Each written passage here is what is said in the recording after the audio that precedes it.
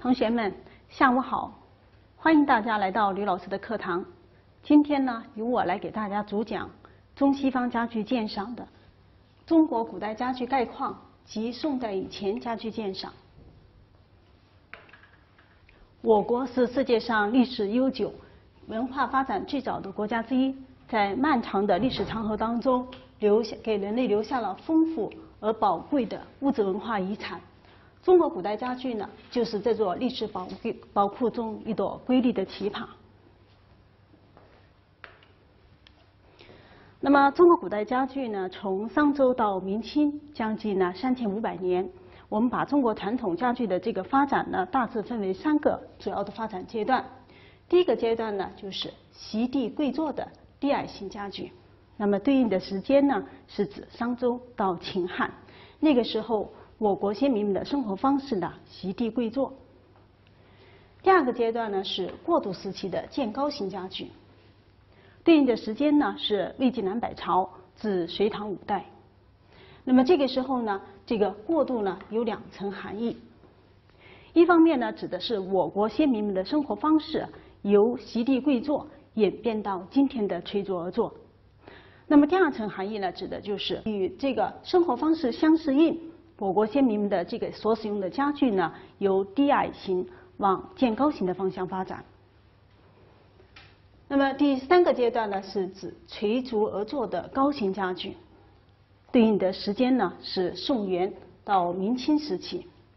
那么宋元呢，是中国古代家具发展的一个成熟期和完备期；那么明清呢，是中国传统家具发展的鼎盛期。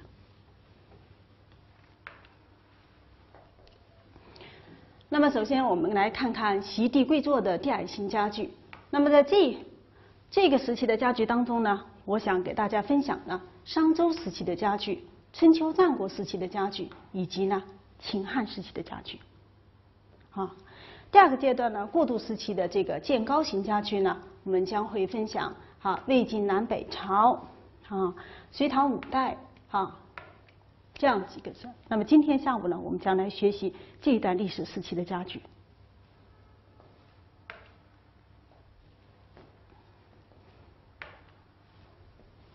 我们先把思绪呢拉回到商周时期，公元前十六世纪到公元前十一世纪的商朝是一个农业、手工业、畜牧业都比较发达的国家，尤其是当时的青铜工艺技术达到了相当成熟的地步。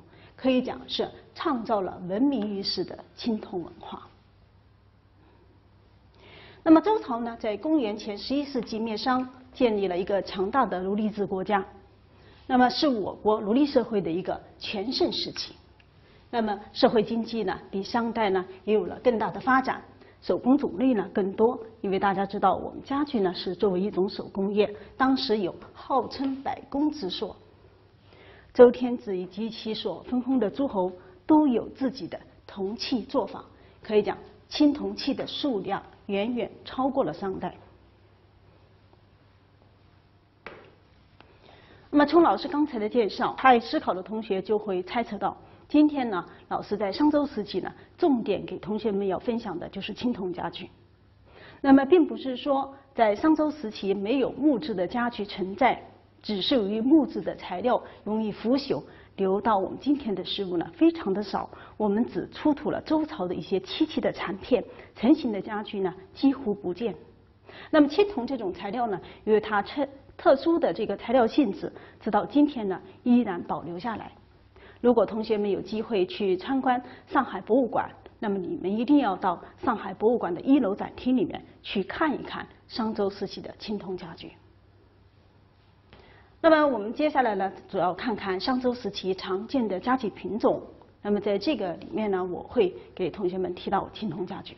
好，首先我们来看看商周的家具的第一个品种叫席。席地跪坐时代，我们肯定第一个想到的是席子。那么席子呢，可以讲它是床榻之始。当时的这个席子呢，既是坐具，也是卧具。那么在这个周礼、仪礼以及礼记当中，我们可以得知，在以中华制为核心的奴隶社会，席的材质，就采用什么材料啊？还有呢，席的装饰以及如何使用，都要受到等级与名分的制约。也就是说，我们可以根据啊，那么这个奴隶主、贵族生前所使用的席子的这个材料、装饰情况，以及它的一个在日常生活当中的一个使用场景，可以推断出这个奴隶主、贵族生前的身份和社会地位。啊，第二个呢是主，第三个呢进，我们把这两。种类型的家具呢放在一起，好来学习。那么在商周时期遗留到我们今天的主和镜呢，主要是青铜主和青铜镜。它是一种礼器，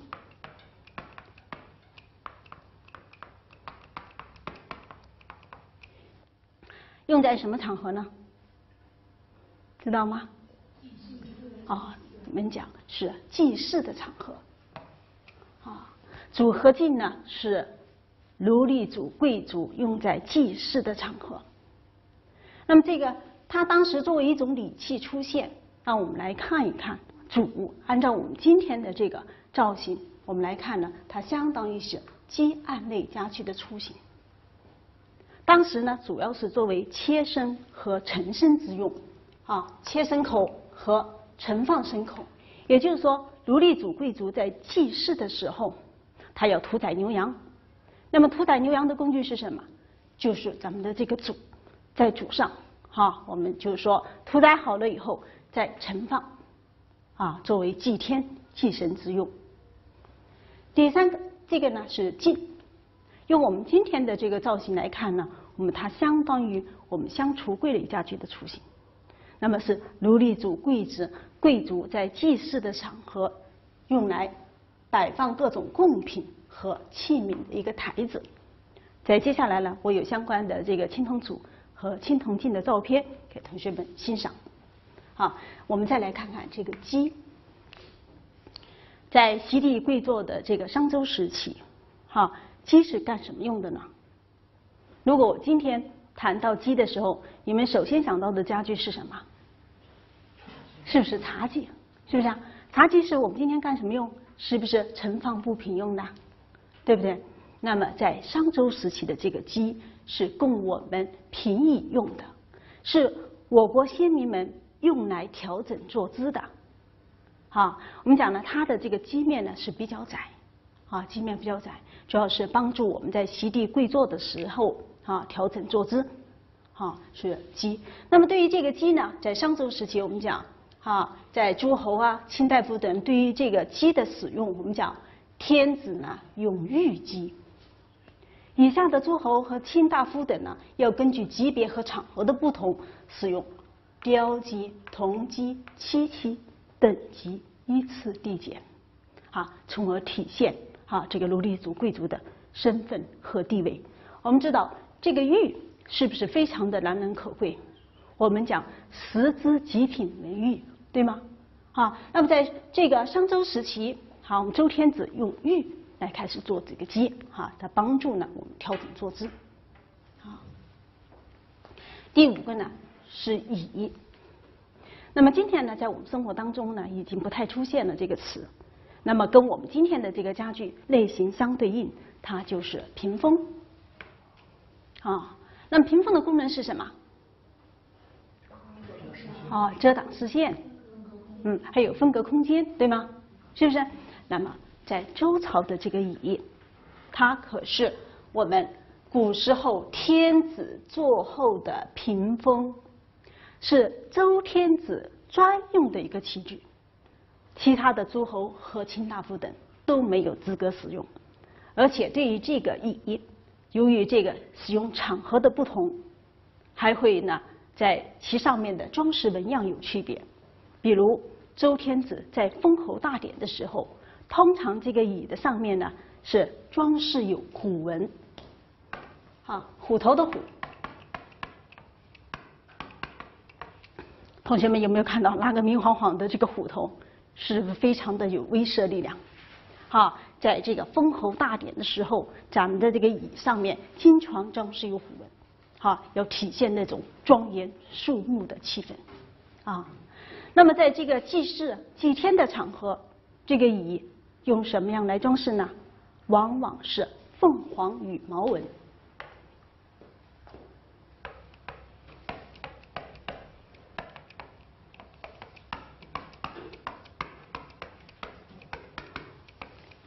同学们来跟我一起思考一下，商周时期，奴隶主贵族为什么要祭神祭天呢？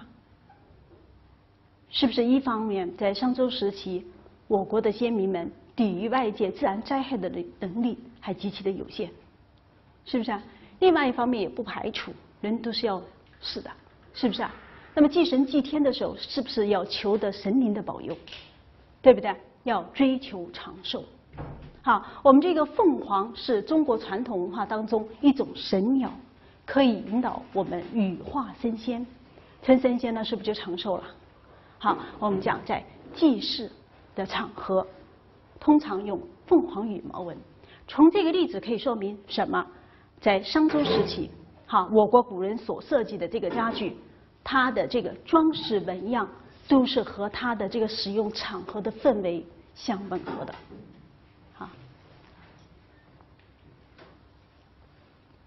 那么同学要注意了，老师这里介绍的家具，啊，就是说有这一些，但不是说仅有这一些，明白吗？因为我们这个就是说，我们这一门呃这个学问的话，是随着我们的古文献挖掘的深入，以及考古工作的深入，说不定未来又有新的发现，会为我们这个知识宝库添砖加瓦。好，那目前呢，我们主要是看到这样一些品类的家具，就是说有这些。但不仅有这一些，哦，还有很多未知的谜等着我们大家一起去探索和学习。来，我们来欣赏一下这个辽宁义县出土的商代青铜板饰组。啊，那么对这样一件家具的时候，我们首先它是青铜材料制作的，那么用这种金属来制作的家具，会给我们什么感觉？是不是很重？是不是很冰凉的感觉？啊是不是啊？那么我们的先民们是如何把这种家具做成这种比较轻薄的感觉呢？当我看到这个青铜土的时候，有没有给你很硬重、很笨拙的感觉啊？没有，是不是啊？我们讲是板块的一个构建的形式。好，大家看看我们这个先民们做了一个非常非常。啊，我觉得就是在造型原理上面来讲，是一个呃，就是一个非常成功的一笔是什么？大家看到这个面板的宽度到下面是不是有一个斜坡？是不是啊？那么这个斜坡的处理以后，给我们在这个造型原理上看，是不是感觉轻薄多了？是不是啊？那么就是我们就是说，呃，举个例子，当就是说这件家具如果是厚厚的这么多，和一个是这么薄。那就是说，我们在祭祀的场合，经常要把这件家具搬来搬去。看，你是愿意搬这个，还是搬那种很厚的那个？是不是愿意搬这个？是不是？那么一方面呢，它也节省了材料；还有一方面呢，在我们造型上造成那种就是说青铜制作的家具，并没有给我们笨拙感，是不是啊？通过我们先民们的合理设计，在这个视觉上就解决了这样一个问题。好，它是用这个斜坡的形式。好，我们再去。还有一个我要提醒同学注意的就是，在这一块这个板式组的这个地方，我老师用这个红笔提亮，是不是画出了一个昆门的线形？所以我们讲哈，这个昆是这样写的。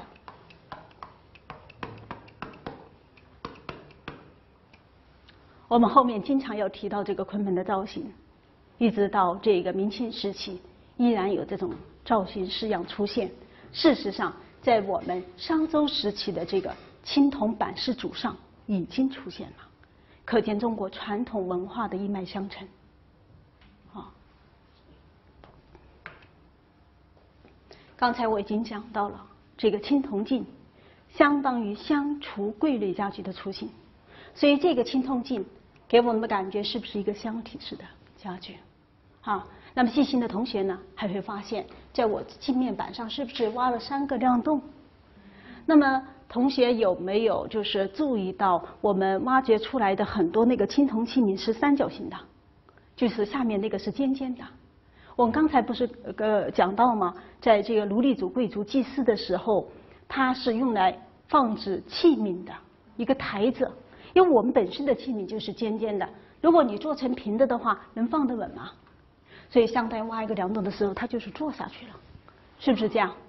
所以我们讲非常的科学，好，设计上非常科学。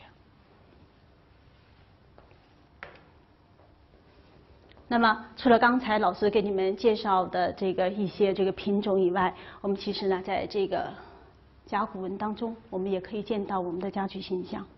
啊，比如我们来看看这个例子，比如在这个第一叫“人卧床未睡觉”，大家可以看到这像不像个人啊？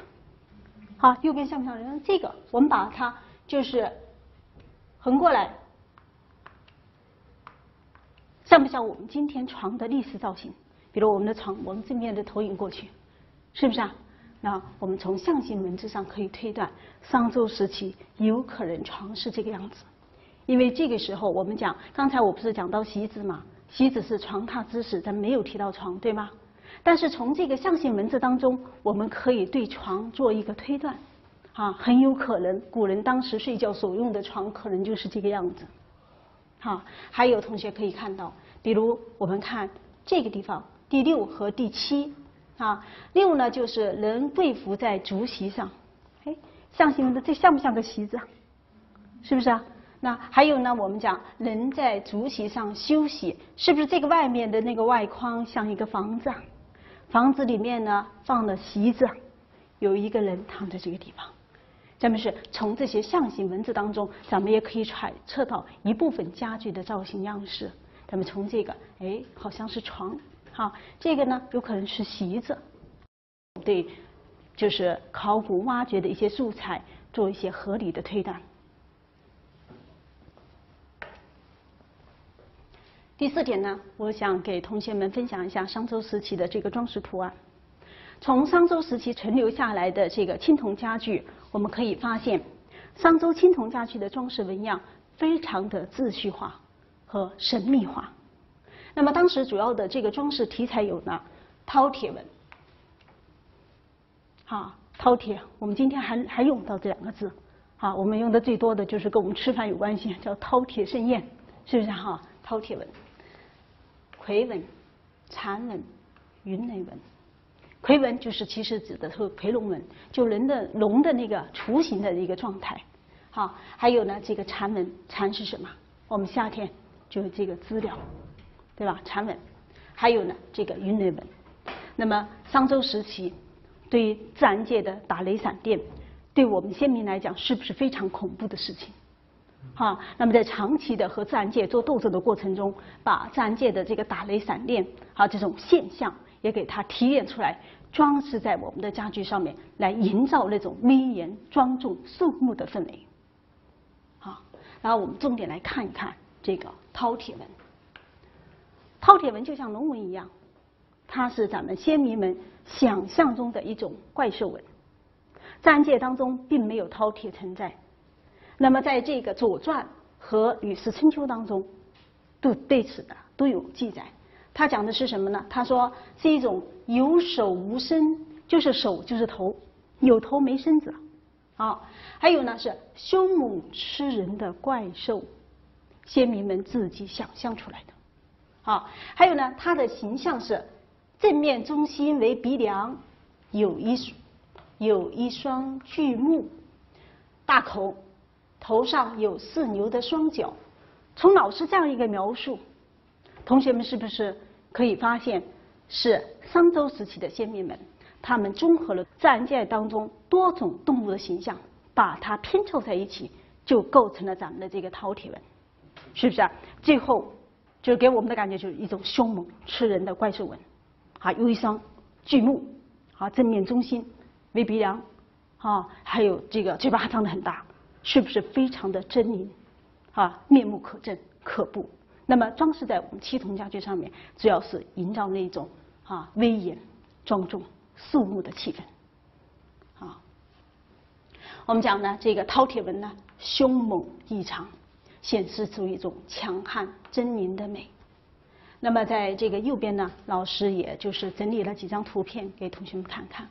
好，我们大家可以看看这个，就是说正面中心为鼻梁，是不是左右对称的一个图案？好，正面中心为鼻梁，有一双巨目，这是嘴巴。然后左右两边有对称呢，你看不同的时代，它给它规整化了、系列化了，就是老师这里讲的，还有神秘化，要加一个字叫秩序化。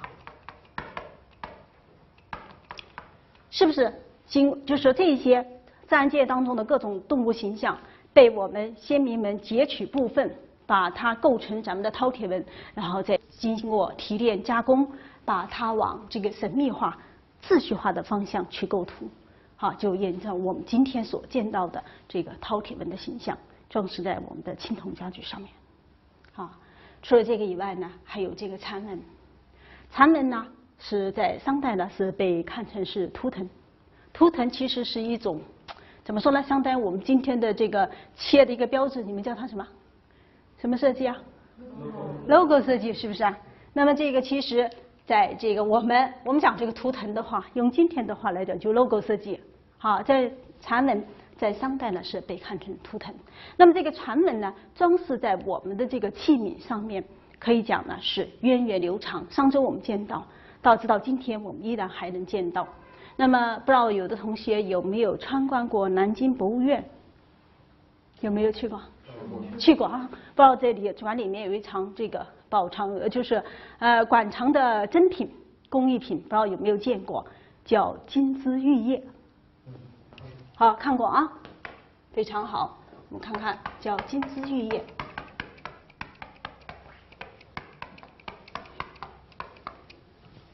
看看，其实跟我们以后后面要讲的吉祥图案呢是相吻合起来了。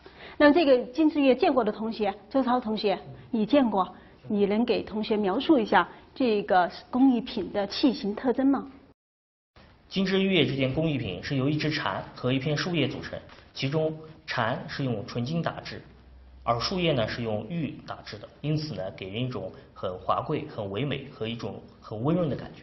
好，请坐下，说的太对了。啊，这个金枝玉叶非常珍贵。那么在当时古时候是作为什么女子大家闺秀，哈，她陪嫁的一个信物，哈，可以这么讲，哈。那么也就是说，在这个就是我们讲古时候，哈，家庭条件比较好的这个女子在出嫁的时候，父母会给她精心打制这样一个金枝玉叶的饰品，放在她的那个梳妆匣里面。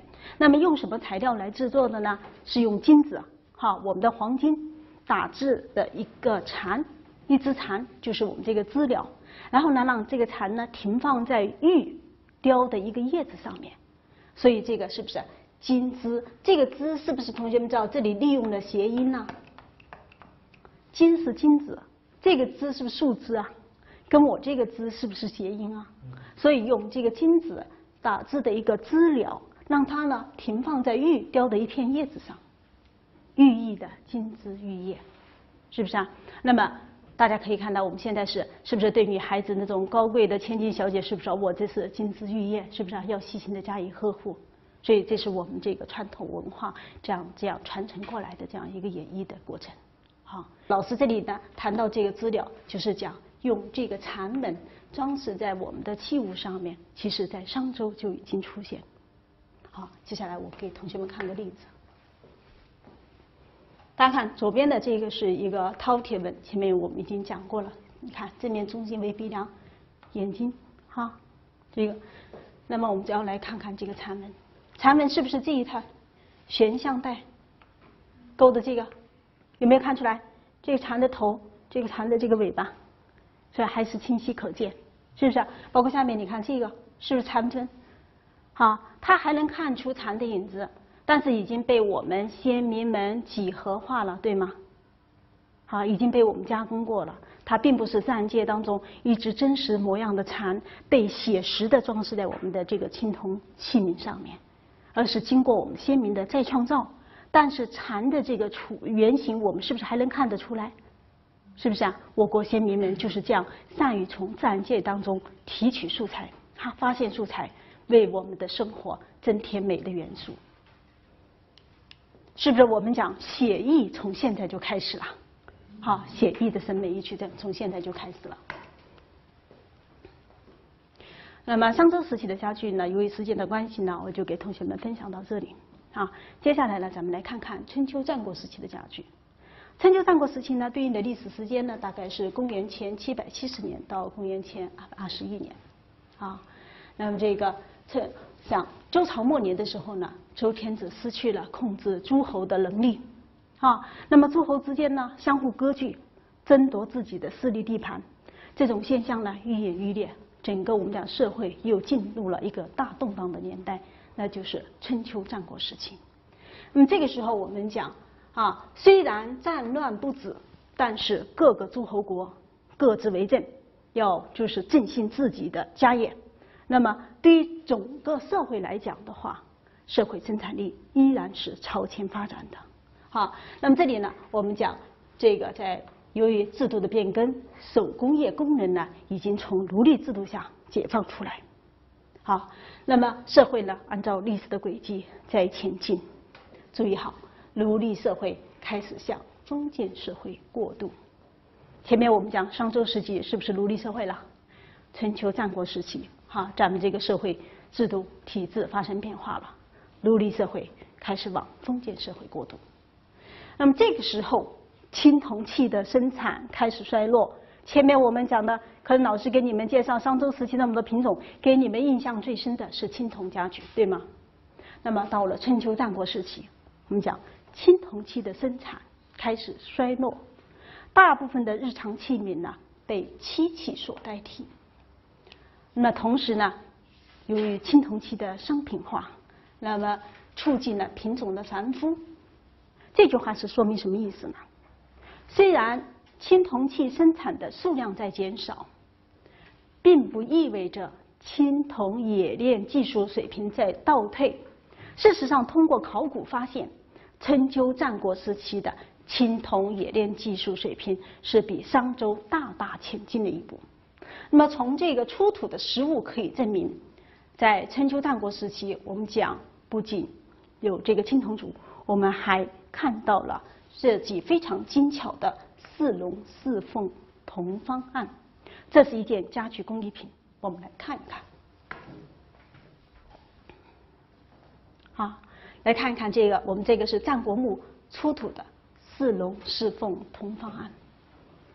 同学是看到这一件照片的时候，你有没有被它这个繁复精巧的底座所震撼？是不是啊？这个暗面。是漆木制的，由于时间的久远，已经腐朽掉了，留下的这样一个青铜的框架，供我们今天来品评和鉴赏。我们不妨来看看它这个底座的构成。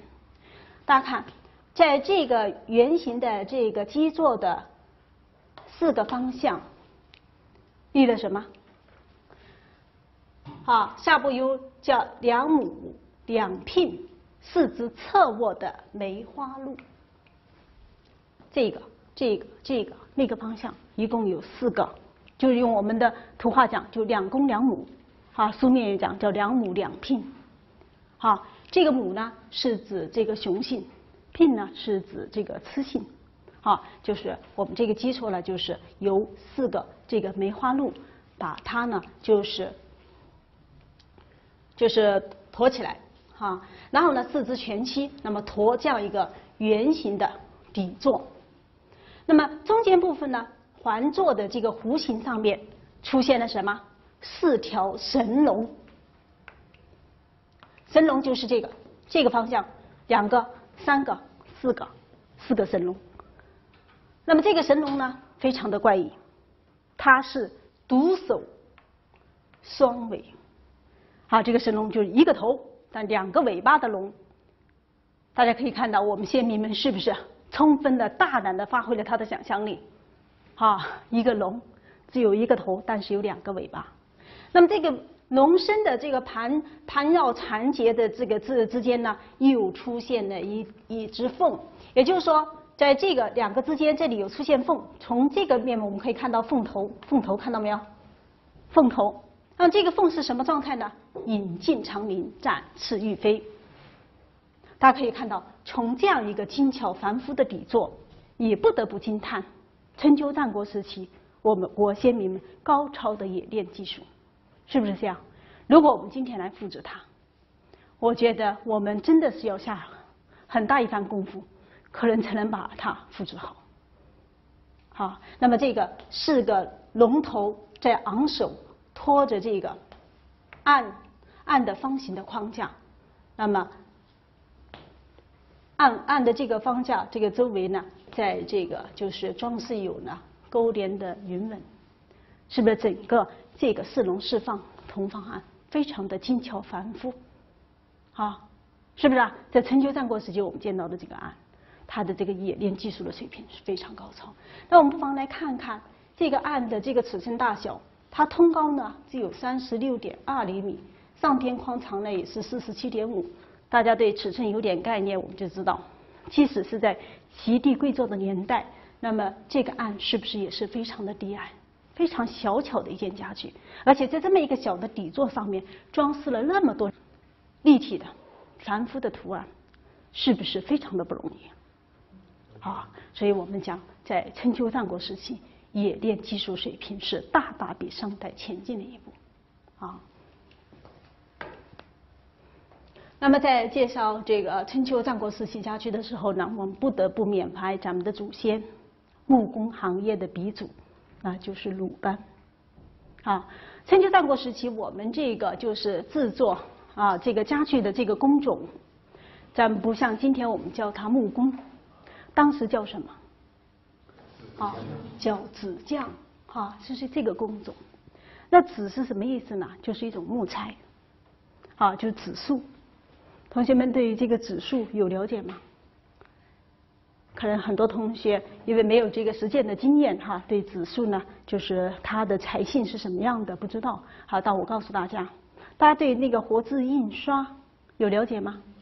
是不是啊？那我们当时那个字的这个字模就是用纸树来做的。那么从它可以用来做字模，是不是说明这种纸树是比较硬重？是不是啊？因为我们嗯，你刻成那个字模字那么小，如果你很软的那个木材，是不是我们印的那个字就不清晰啊？我们一定需要这种字呢，是比较硬重，它那个就是边啊，就是那个字的那个边缘都要打磨的很光滑。那么咱们在胶印的时候，那个字是不是就清晰啊？那么从它可以用来做那个就是那个字模，我们就可以推断这种纸树的这个材料是不是它的一个木性是比较硬重啊？好，那么当时呢叫它是纸匠，好。那么我们可以讲呢，在这个鲁班一生的伟大实践，在明代呢，由这个武荣啊这个人编辑成册，哈，有一本书呢，就叫《鲁班经》。所以同学看到这个《鲁班经》这本书呢，事实上是明代是由武荣编著的，哈，并不是鲁班自己本人所写，只是后人为了纪念我们木工行业的鼻祖，他是建筑建筑界和我们家具业的大师。哈，就给他取的这个名字呢，叫《鲁班经》，可以讲它是古人留给我们今天的一笔哈丰厚的文化遗产。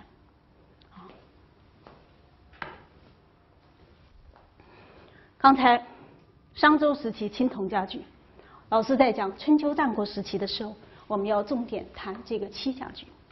好，这时候我们讲绝大多数生活的日常生活当中的器皿呢，被漆器所代替。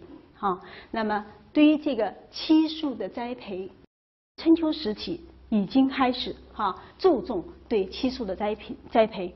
那么到了这个战国时期呢，可以讲官方呢开辟有这个官营的这个漆林，这就相当于漆园子，就整个这一片树林都是种的是漆树啊。好，在这个史记当中呢，还记载庄周曾为漆园吏，什么意思啊？就是庄周这个人曾经被官府。